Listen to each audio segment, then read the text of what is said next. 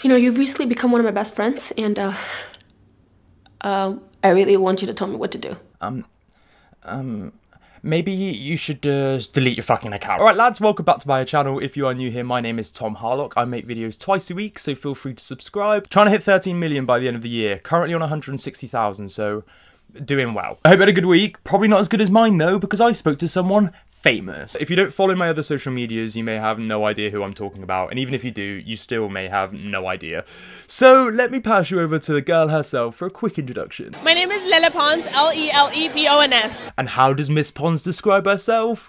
Well, in her own words, Uh, a physical comedian Ooh. who likes to do stunts and be relatable and, and talk about girl problems and school and how to deal with problems as well. Wow, sounds great. You really sold yourself there, darling. If you honestly do not know who Lele Pons is, she's 21 years old, of Venezuelan descent. She was the most watched Viner of all time, and she will not let you forget that. She now stars in music videos, makes YouTube skits that are hilarious, tries to ruin her friends' careers, and she fakes charity posts for likes. All in all, pretty sound person. As a quick disclaimer for the three Lele Pons fans who are watching who understand what the word disclaimer means, I'm not obsessed with Lele, don't worry. In fact, I look back and I've only mentioned her twice on social media before this week.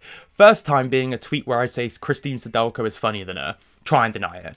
Second time is my third to final Vine where I said this. Obviously, Vine's ending, and I'm being sincere. I just want you guys to know that Lily Pons was never funny. How the fuck did she get? Again, facts, try and deny it. So you're probably wondering what happened this week to spark this video. Well, one of the original co-founders of Vine tweeted this, saying that he's down to have a follow-up app. Obviously, as an ex-Viner, this excited me, so when I saw a news article about this, I wanted to share it, share it to the world. And because I'm funny and I like jokes, I quote tweeted it saying, if anyone tells Lele Pons, I'ma fucking rip your face off, bitch. It's funny. It's a joke. And other people thought so too. And in fact, the tweet banged and got over 200,000 likes. And before you knew it, people in the comments were rejecting her from every social media. It was a barrel of laughs. It was hilarious. You take things like that with a pinch of salt when you're big on social media. You have to. Especially when you've been in the game for, what, five years like Lele Pons has? However, Lele didn't take it with a pinch of salt and decided to subtweet about me, which I didn't see for a while because um, I'm blocked. But she said, Dear haters, Stop following me and follow your dreams. I thought, whatever, at the end of the day, 200,000 people think you're a knob, so I win. Like, half an hour had passed and I was just chilling. I forgot about the whole thing, if I'm honest. And I was just on my Instagram story. And who else other than Lele Pons had watched the whole thing? I was like, fuck's sake, Lele, you just tweeted about focusing on your own life and your own problems, and here you are subtweeting about me and then checking my Instagram story. What are you doing, darling? Now I have to make a video showing everyone how much of a knob you are. You may be wondering, what does what does Lele stand for? What who is she? Well, let me spell her out for you. Lele. The L stands for Loyalty. Lele doesn't understand the concept of friendship or loyalty at all, and a good example of this is Amanda Cerny. Amanda Cerny used to be Lele's best friend, YouTuber, one of those entrepreneurial social media girls. Really good, I kind of like her. Amanda had a bit of a problem. She couldn't figure out exactly why her YouTube videos were being deleted all the time. Well, it turns out that Lele, her best friend, was the person doing that, because that's obviously something that normal people do. Listen to this. I thought in my head, like, YouTube's like just deleting my video and not admitting to it. Like, I would think that before I would think that Lele would do it. I'm like, Lele, wait, did you delete my YouTube videos too? And she's like, yes, okay, I did it. I'm like, what the fuck? If you think that's bad, it didn't even stop there. She would even put my profile on private, and I would find out it's on private, so none of my fans could see my posts. Untag me from all of her photos, and like act like, oh, she forgot. It sucks when you find out like the people that you trusted are just fake. Nailed loyalty pretty well there, Lele. Let's move on. E. E is for ego.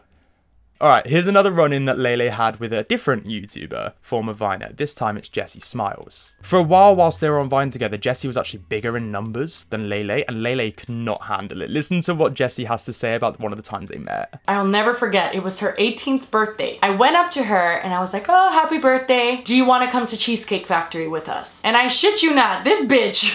she looks at me and she's like, well, you're the famous one, so you decide. If you haven't guessed yet, Lele has become obsessed with the numbers. She can't see anything other than the numbers. She's like a fucking character in Lost, and that's why she was so intrigued by my tweet because it did high numbers. This intimidating her and being who she is, she had to check my Instagram just to see if I had more followers than her. And while she was there, might as well check the story as well, you know? The numbers are everywhere, they're in her bio. She can't even go an interview without saying about them. I blew up because of Vine, and I have the most followers there. Yes, Lele, we get it. You had the most followers on Vine. Ooh, the bushna. Essentially, if you're not on a level, you're nobody. And if you're higher than her, she'll try and take you down. We went to Cheesecake Factory, she ended up coming, and my brother Joey went up to her face to face, like, you know, like how humans meet. And he said something along the lines of like, oh, I don't think we've met yet, I'm Joey. No shit, she looks at him with a blank stare and then just stares off and walks away. Next, we have. Oh, I didn't plan for this. Fucking hell. Why didn't I think there'd be a duplicate L?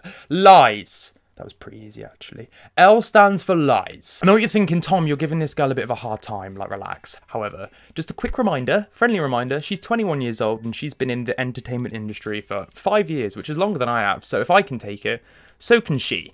And, well, she also lied about donating her hair to charity, so. yep, that's right. Courtesy of this Instagram post, Lele confirmed that she was donating her hair to charity after cutting it all off, which we can all agree is a lovely thing to do. However, if you've watched any any Tanner videos, you'll know what hair tracks look like. Zoom in, have a little look on that. So that's not hair, Lele. Those are hair extensions. That's not real hair. You can't cut off hair extensions and say you're donating them because you're just give you're taking someone's hair from a terrible industry probably and then saying all right you can have it back but only after i've dyed it blonde. That's what you've done. A lot of people on youtube do charitable things like they give up burgers to homeless people and that kind of shit. It's not evil because the homeless people who get that burger whether it be for camera footage or not they're still getting a burger. Do you know what I mean? They're still getting something at the end of the day, so it's not completely evil. Whereas Lele didn't even fucking do anything. You can't lie about charity stuff for clout. 50% of her Instagram posts probably get approved by an external source. So you're telling me that one slipped the net. It's an absolute fucking lie. There's only two ways of looking at this. She did it for attention and put the extensions in there on purpose, or she really just lies about donating to charity. Either way, she's shit. Right, I think that's lies over and done with. Jesus, got a bit passionate there. E stand. Have I got another double E? I haven't done double E's since 2014. I didn't sleep for four days because I was watching Scooby Doo anyway. E. E is for entertainer. See, Lele is obviously known for her hilarious skits, her Instagram comedy, her relatable videos. Obviously brilliant, everything about her is hilarious. But what if it's not? What if it's not funny in any way at all? What if that's a concept? Let's take a look at this one. It's called Getting My Driving License. She posted it on YouTube and it's got millions of views. I'm really nervous about this. You shouldn't be. It's just gonna be the two of us. Actually, no. Let's get it poppin', yo! Yeah! Lele, you crazy bitch. You're not supposed to invite your friends on your driving test. Ah! It's just gotta be me and you.